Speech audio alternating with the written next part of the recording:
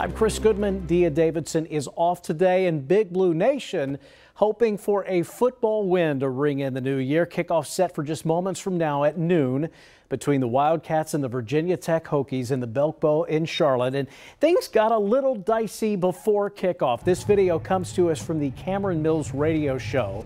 You can see a sea of cats and Hokies and then security comes in to help. The Roanoke Times later posted video of a second scuffle before everyone left the field.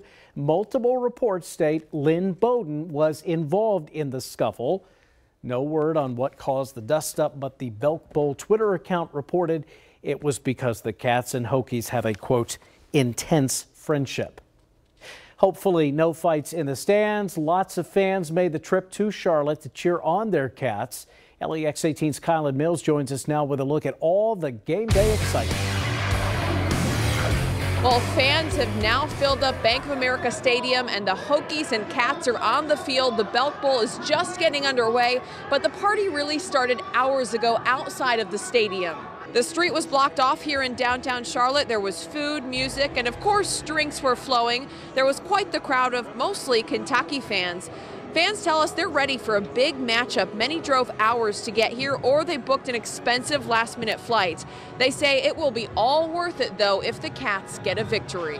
I think it'll be a very, very competitive game. I think uh, both teams are very, very good, good ground games. So we're hoping for a Kentucky victory. Blue, I want to see a sea of blue. We're going to pound them. Bowden, smoke, pound them.